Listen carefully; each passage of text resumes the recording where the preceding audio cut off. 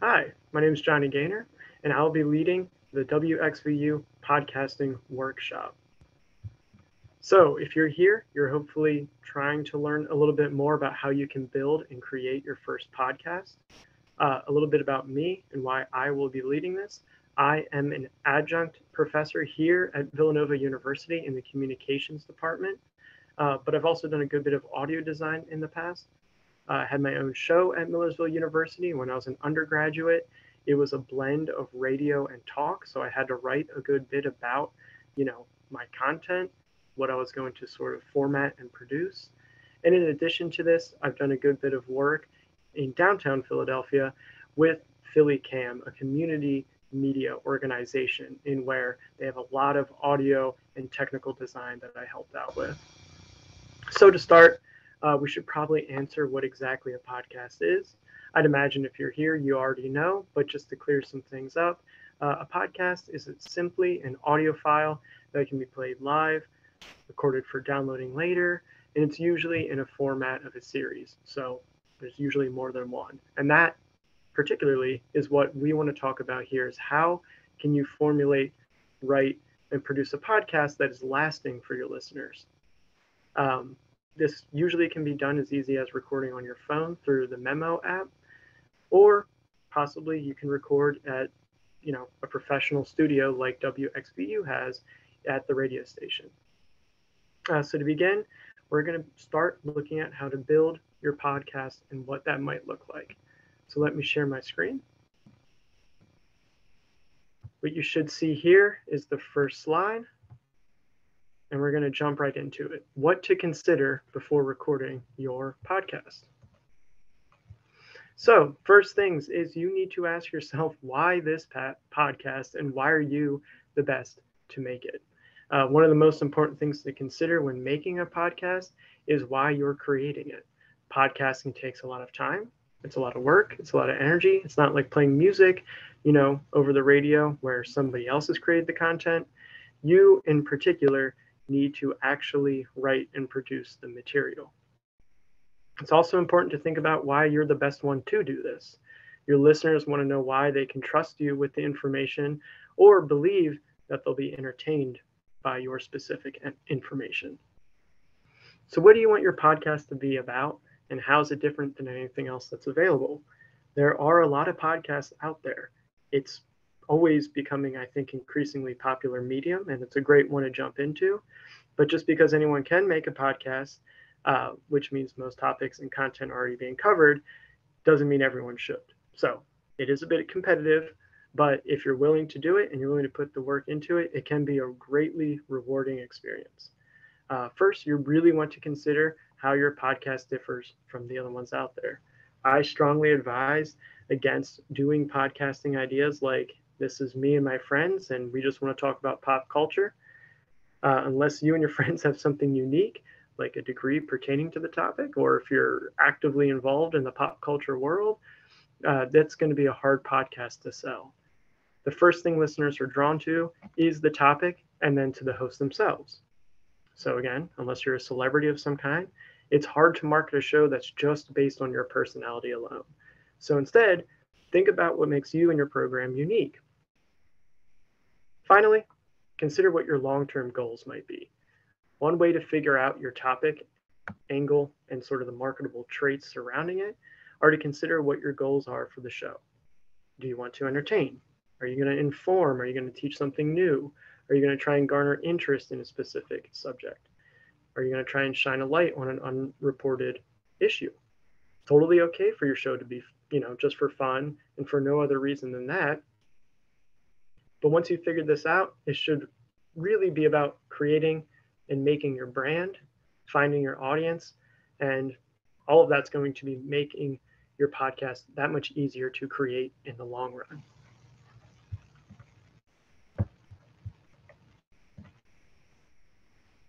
Okay, next. It's perfectly okay to start with something that's not going to be, you know, an everyday type of podcast. You know, nobody's expecting the world from you in that way. You should try and choose a consistent day that you'll post episodes or try and record episodes.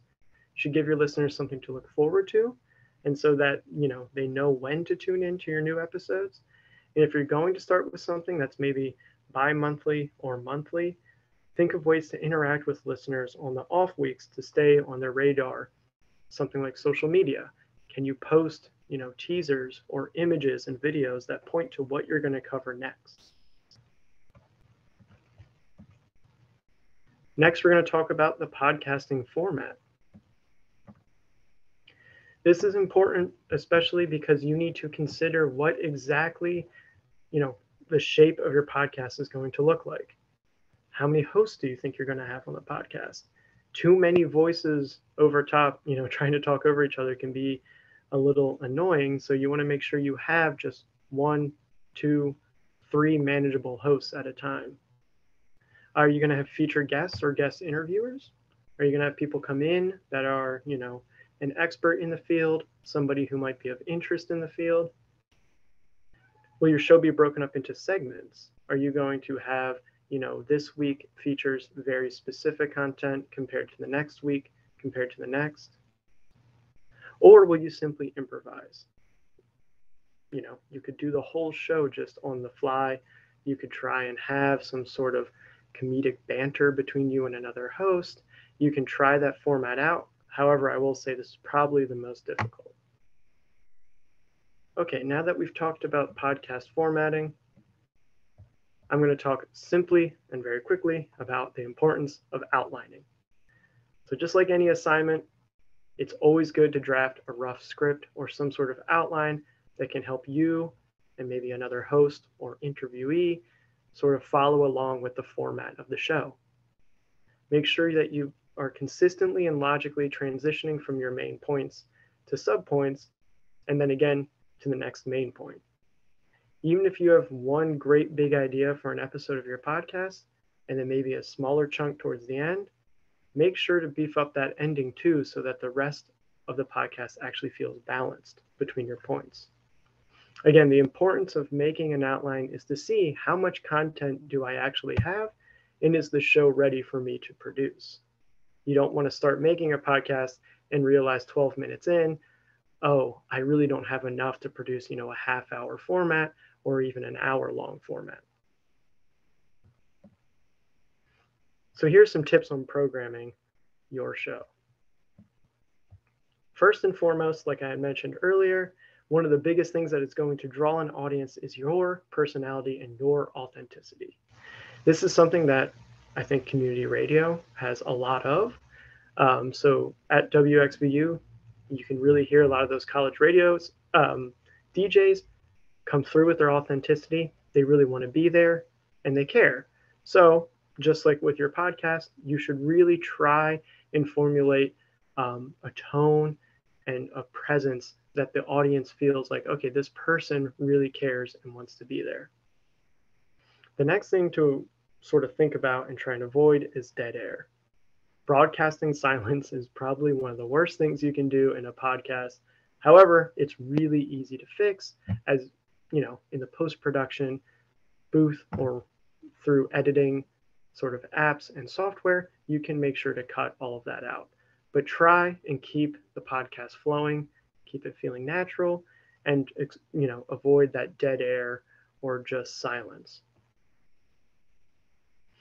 Second thing to try and avoid is your tone and volume. Again, in a more technical, detailed workshop, uh, we should cover also how close or far away um, a host or maybe a guest is to the mic. You want to make sure that, especially again in the post production element, that you can edit out and make sure that all of those sort of varying degrees of volume are level in the overwhelming, I think, majority of cases, when a presenter is sort of speaking at the wrong volume, it'll be because he or she is not wearing headphones. So make sure you have good headphones. Make sure you're listening in to what you're doing. Make sure that you are on top of the volume. And finally, a simple sort of technique for staying personal when speaking is to really, really be mindful of your time. Again, the time it takes to speak over a podcast, the time it takes to write a podcast can be draining, and you might realize it halfway through an hour long format and start to lose your wind or start to lose that authenticity. Keep it up, keep the pacing right, make sure everybody's feeling good, and you should be fine. So, how do you build that tone? How do you build that authenticity? And how do you really stay consistent with it episode after episode? Well, the most important thing to do is probably, again, thinking about what's driving the show to begin with. Try and narrow in on something that's not being talked about. Try and narrow in on something that you're an expert of. What is it that's driving you to create a show that other people want to enjoy and listen to? Find and occupy that niche. If you are really into sustainable technology, don't just talk about sustainable technology. Isolate and find a specific area of interest. Maybe it's the use of rare materials like lithium in batteries. Or maybe you could just focus on sustainable construction practices and isolate very specific examples. Again, to keep up that tone, to keep up that sort of excitement, you need to find exactly what it is that you're interested in. And truly, I think the best way to do this is spend time listening to podcasts that you enjoy. Figure out specifically why you like them. What do they do that's unique? What do they do that keeps you coming back week after week? Why do you keep listening? Is it the podcast content? Is it the host's personality? Or maybe they just have great music. Take what you like about the shows that you listen to and to try and apply the same sort of setting to your own show. So next, let's solidify that show format, the basic structure. Once you have solidified your sort of outline and structure, the most important thing to do is stick with it. It's really hard to have an audience to keep coming back to keep sort of listening and staying with you week after week if they can't tell what the format's going to be. If they know that they have a half hour every week that they can enjoy your content and they know exactly what they're going to get out of it, they're more likely to keep coming back. So it's important to keep to really stick to that format once you have it. You want to make it seem as though each episode of your show is actually a part of a larger body of work Of course, this isn't to say that you can't evolve or change or eventually branch out and do something different with your podcast, but you shouldn't try and make drastic changes from episode to episode. Try a new segment here and there, but don't change it up too much from show to show. So, a really easy way to sort of begin your format of your structure is that all podcasts have a very linear trajectory. The format of a show is often going to be informed by its topic. A talk show is probably going to have a different format than a technology news show or you know an informal comedy show is going to be much different than a horror crime podcast stick to the sort of linear progression of whatever your topic is so for example on the screen you should see my example structure for a 30 minute music show. This is a talk show that's based around possibly, you know, new music that's coming out. So whether you enter each of these sections with a sort of definite definite break like a musical interlude or just by saying something like and now let's talk about the effect of sort of video in modern cinema or whether you sort of organically transition from one section to another you still need to follow this basic structure we have the intro the middle and the end. Now, of course, this is just an example structure, but it would be good to stick to one like this. By following this format, it's pretty clear that your listeners will know exactly what to expect. You know, they have your talking where you're greeting them and, you know, talking and previewing about what's coming up. Then you have the middle chunk, which is probably the bulk of your written content. And then you have the ending where you can wrap up and again preview. You want to keep this cycle going so that your audience always knows what to expect when they come back. Again, I can't emphasize enough that previewing is probably going to be one of your greatest assets to producing a podcast. It's one of the best way to give your podcast legs and to, for to really help the audience visualize what will be coming next. Give them something to be excited for. Paint them a picture of what this podcast is trying to do. And again, paint them a picture of the larger sort of conversation that your podcast is living in.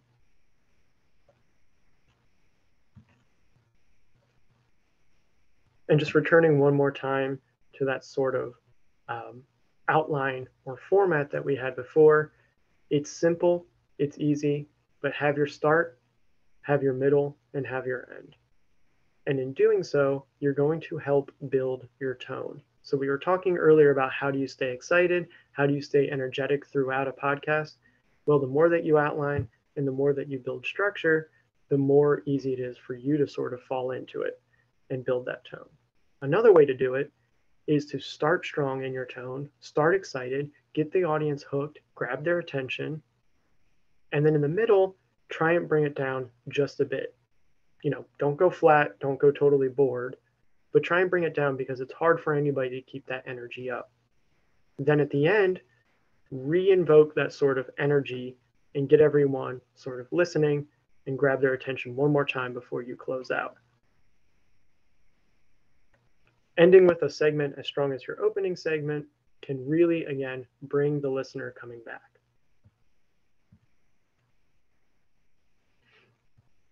Additionally, you can also start with your show's strongest topic if you have a sort of really captivating breaking news, maybe possibly new information or a really strong opening that you've written, start with that.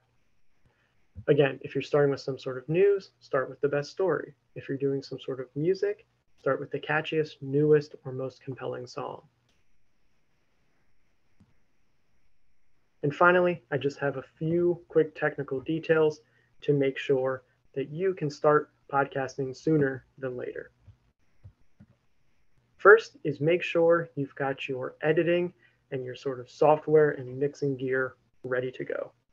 This is going to be probably the longest and most tedious part of podcasting outside of the writing and formulating the show. I have on the screen here probably the most popular and easily the most available software for editing any type of music or podcast, and it's called Audacity Editor you can actually go download it for free and get started recording right away. It's super easy to use.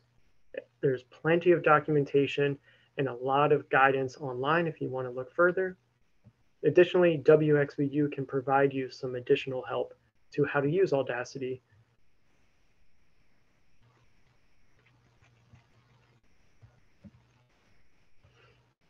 Another thing that you can do um, once you start editing is try and build room tone or ambience. So what this means is you actually, as you're recording, have a tone in the room that is constantly going on behind the speaker's voice. So every environment you record in has its own ambience or room tone. Uh, you can actually record that ambience and layer it within the editing process in order to help make cuts and fades seem more natural.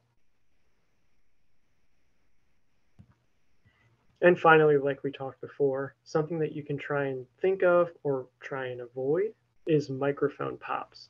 Pops are the blasts of air that distort audio, often formed by words that start with the letter P and sometimes the letters B, T, and K. It's really, really easy to, you know, fall into leaning too close to the mic saying some words with excitement if you're in the moment and not realizing that you're having these microphone pops. So the best way to prevent it is with good microphone placement, usually four to six inches away from the speaker's face. So finally, to close out this workshop, again, I just want to leave you with some general tips, but most importantly, start thinking about why it is that you want to record this podcast. What about you makes you a credible speaker? How are you going to provide the audience with content that keeps them bringing back? How are you going to build your tone and excitement to make sure that they keep coming back? And maybe most importantly, how are you going to edit and put together this podcast? Hopefully, this has helped you get started, at least just thinking about podcasts, thinking about how you're going to write them, And then maybe soon you can actually start the process. Thanks.